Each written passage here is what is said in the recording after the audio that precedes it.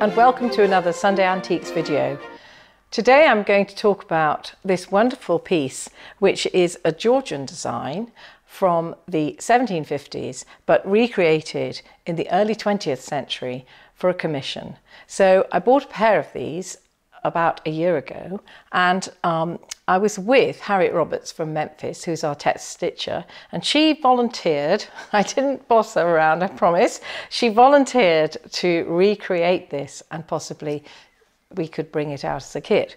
It's double the length of this piece here, and the techniques on it are really interesting. So as Harriet recreated it. We WhatsApp across the ocean. I'm in northern England and she's in Memphis. And um, it's even though we have a time difference, we're I think both fairly active people and awake a lot. And um, sent each other little pictures. And it's really interesting to develop a kit and really have everything written down on a WhatsApp stream.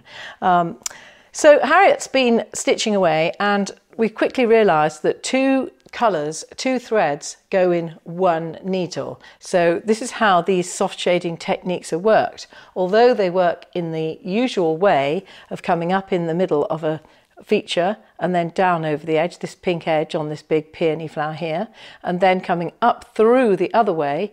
So you work splitting the two when you do the two different directions. Um, when you actually put in another element, which is the extra colour in your thread. So this is uh, in double thread here or even in triple thread here. Um, the actual mixing of the colours is very easy and it's very effective and it looks incredibly complicated. And I think where sh that shows it most is on this area here, where you can get away with really vivid colours all mixed together and you know, nobody would go to a needlework store, I'm sure, and choose these colours and think they're going to go together brilliantly, but actually blended together in the long and short soft shading technique, which is all around here, is absolutely perfect.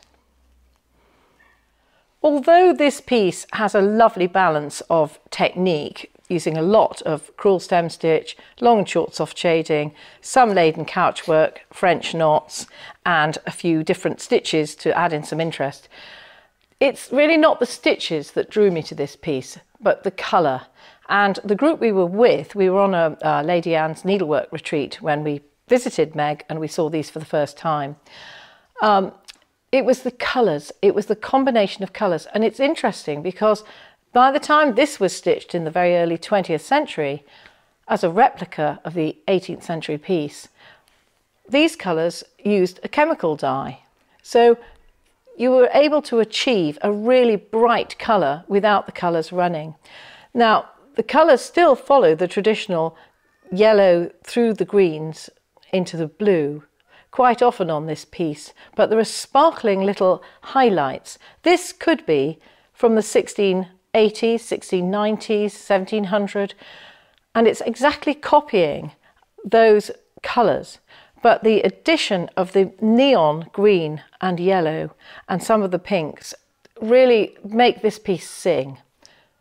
I think the other thing that drew me to it was to see the designs coming through from the past. This little fritillaria, I think it's just so charming.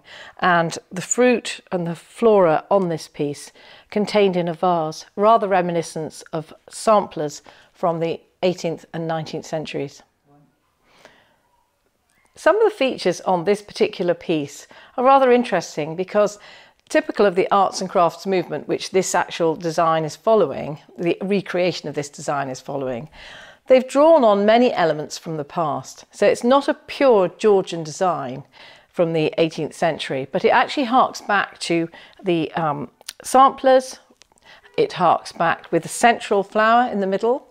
It harks back to stumpwork pieces which have a moth or a butterfly representing the king of the time.